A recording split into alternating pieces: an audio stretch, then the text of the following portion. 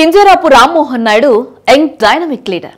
TDP ముఖ్య నాయకుడు. చంద్రబాబుకు వెన్నుదన్నులాగా ఉన్న స్వర్గీయ ఎర్రం నాయుడు మరణంతో తన కుమారుడుగా తాజా రాజకీయాల్లోకి అడుగుపెట్టాడు. మొదటిసారి పార్లమెంట్లో అడుగుపెట్టి తన వాక్చాతుర్యంతో అందరి ప్రశంసలు పొందాడు.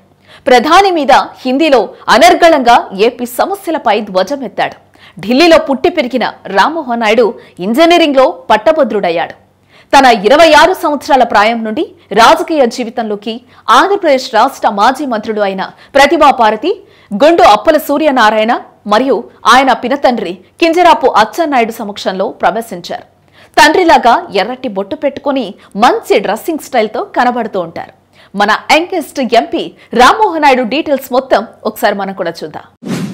రామ్మోహన్ నాయుడు శ్రీకాకుళం జిల్లా జిమ్మాడ గ్రామంలో డిసెంబర్ పద్దెనిమిది పంతొమ్మిది వందల ఎనభై ఏడున జన్మించారు. ఆయన తల్లిదండ్రులు విజయలక్ష్మి ఎర్రన్నాయుడు రామ్మోహన్ నాయుడుకు ఒక అక్క కూడా ఉంది. పేరు భవానీ. ప్రస్తుత మంత్రి అచ్చెన్నాయుడు రామ్మోహన్ నాయుడుకి స్వయాన చిన్నాన్న. ఒకటి నుంచి మూడో తరగతి దాకా శ్రీకాకుళంలోని గురుజాడ ఎడ్యుకేషనల్ సొసైటీ హాస్టల్లో ఉండి చదువుకున్నారు. పంతొమ్మిది వందల తొంభై నాలుగులో తండ్రి ఎర్రన్నాయుడు చీఫ్ విప్ అయ్యాడు. అప్పుడు పిల్లలను చదువు కోసం శ్రీకాకుళం నుంచి హైదరాబాద్కు తరలించాడు. కానీ పిల్లలు మొదట హైదరాబాద్లో చదవటానికి ఒప్పుకోలేదట. తర్వాత తండ్రి చెప్పడంతో హైదరాబాద్ జూబ్లీహిల్స్లోని భారతీయ విద్యాభవన్లో నాలుగు ఐదవ తరగతుల వరకు చదివాడు. కేవలం రెండు సంవత్సరాలు హైదరాబాద్లో చదివాడు. పంతొమ్మిది వందల తొంభై ఆరులో ఎర్రనాయుడు ఎంపీగా ఎన్నికై కేంద్ర ప్రభుత్వ మంత్రి దక్కడంతో రామ్మోహన్ ఆరో తరగతిలో ఉండగా వీరి కుటుంబం ఢిల్లీకి మారింది. ఢిల్లీలో ఆర్కేపురం ఢిల్లీ పబ్లిక్ స్కూల్లో చదువుకున్నాడు. ఢిల్లీలో ఎనిమిది సంవత్సరాలు ఉండడంతో హిందీ అనర్గళంగా మాట్లాడగలుగుతున్నాడు. చిన్నప్పుడు ఇంజనీరింగ్పై ఆసక్తి ఉండేది. ఇంటర్ పూర్తి కాగానే అమెరికాలో చదవాలనే కోరికతో పరీక్ష కూడా రాశాడు. అందులో ఎంపికై ఫర్డ్యూ విశ్వవిద్యాలయంలో ఎలక్ట్రికల్ ఇంజనీరింగ్లో చేరాడు. తర్వాత అక్కడే లాంగ్ ఐలాండ్ విశ్వవిద్యాలయం నుంచి ఎంబీఏ పూర్తి చేశాడు. తర్వాత ఢిల్లీకి తిరిగి వచ్చి ఒక ఇంటీరియర్ డెవలప్మెంట్ కంపెనీ మార్కెటింగ్ వ్యవహారాలు చూసుకునేవాడు. ఎన్టీఆర్ స్థాపించిన తెలుగుదేశం పార్టీలో చేరి పంతొమ్మిది వందల ఎనభై రెండులో హరిశ్చంద్రపురం నియోజకవర్గం నుండి శాసనసభ్యుడిగా ఎన్నికయ్యాడు. ఎర్రంనాయుడు లోకసభ సభ్యునిగా నాలుగు సార్లు పార్లమెంటుకు ఎన్నికయ్యాడు. నవంబర్ రెండు రెండు వేల పన్నెండున ఒక వివాహానికి హాజరై తిరిగి శ్రీకాకుళం వెళ్తుండగా ఇతడు ప్రయాణిస్తున్న వాహనం శ్రీకాకుళం జిల్లా రణస్థలం మండలం దండానపేట కూడలి వద్ద రహదారికి అడ్డంగా ఉన్న ట్యాంకర్ని ఢీకొట్టి అపస్మారక స్థితిలో వెళ్ళాడు. ఉదయం మూడు ముప్పై నిమిషములకి వైద్యులు మరణాన్ని ధృవీకరించారు. తండ్రి చనిపోయిన సమయంలో రామ్మోహన్ నాయుడు ఢిల్లీలో జాబ్ చేస్తున్నాడు.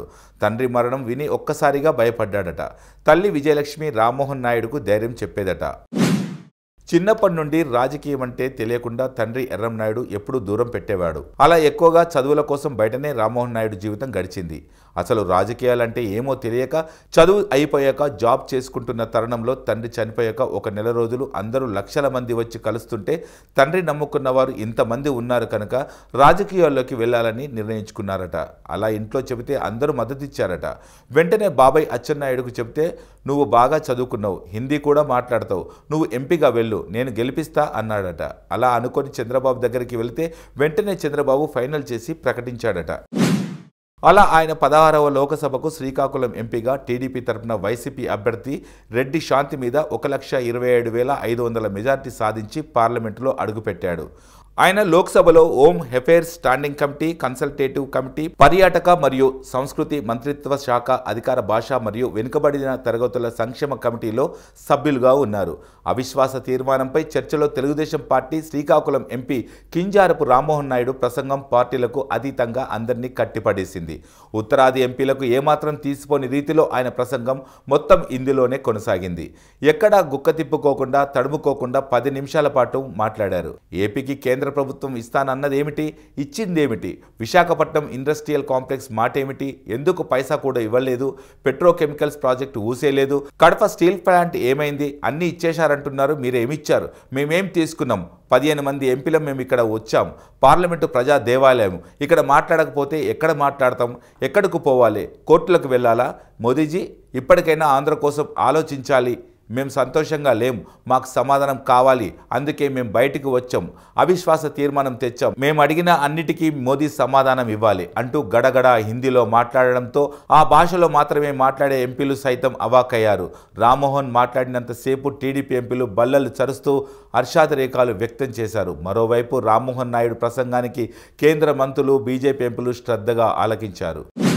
రామ్మోహన్ నాయుడు వివాహం శ్రీ శ్రావ్యతో విశాఖపట్నంలో ఘనంగా జరిగింది. శ్రీ శ్రావ్య విశాఖపట్నం ఎమ్మెల్యే బండారు సత్యనారాయణమూర్తి రెండో కూతురు.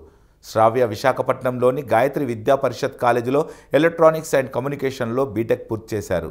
భరతనాట్యం బాగా చేస్తారు. కింజరపు రామ్మోహన్ నాయుడు బండారు సత్యనారాయణమూర్తి కుటుంబాల మధ్య ముప్పై ఏళ్ళుగా మంచి సంబంధాలున్నాయి. ఎర్రన్నాయుడు బండారు సత్యనారాయణ మంచి స్నేహితులు.